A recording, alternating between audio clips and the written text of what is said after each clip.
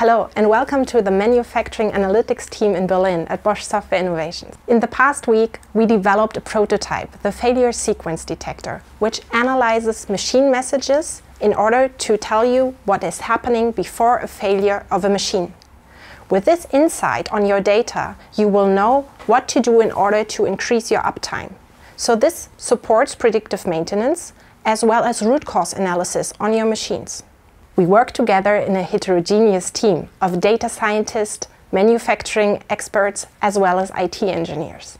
Combining this knowledge, we create valuable solutions for our customers. In the past week, we have worked in an agile way, focusing on the most valuable results on this prototype. Our tools are made to fulfill the needs of engineers and technicians in manufacturing, so they must be easy and intuitive to use and provide applicable results. Our tool will visualize failures that happened on a certain machine in the past. It will identify what happened before these failures in order to predict or even better avoid this problem in the future.